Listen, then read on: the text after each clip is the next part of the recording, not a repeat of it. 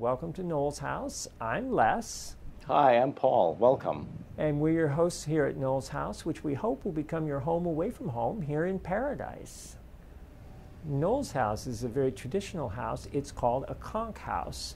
A conch house is our traditional architecture here, and this is the kind of house that the Knowleses, who built this house in the mid 19th century, would have known at home in Eleuthera in the Bahamas, where they came from. When we bought it in 1996, we enlarged it, of course, turning it into a bed and breakfast. We added bathrooms to all the rooms so that now every room has a private bath with all the modern amenities you'd expect. Free wireless internet, cable TV, um, Swedish Tempur-Pedic memory foam mattresses on the bed, and traditional furnishings, many of which we accumulated during our life of traveling and brought with us. We serve a continental breakfast from 8.30 to 11, traditional tropical fruits, uh, bagels, boiled eggs, things like that. Everything you'd find on a, an expanded continental breakfast.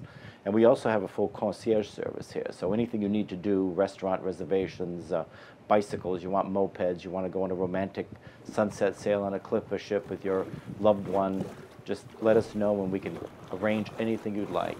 And while we want our guests to enjoy everything Key West has to offer, we also want them to be comfortable while they're at Knowles house. So, of course, we have a swimming pool, a jacuzzi, a nice private rooftop sun deck, so it's just a, this will be just a pleasant environment to spend your downtime. When you want a quiet day at home, we want you to have all the amenities and comforts you'd need from being in the, take advantage of our wonderful tropical climate and our beautiful island.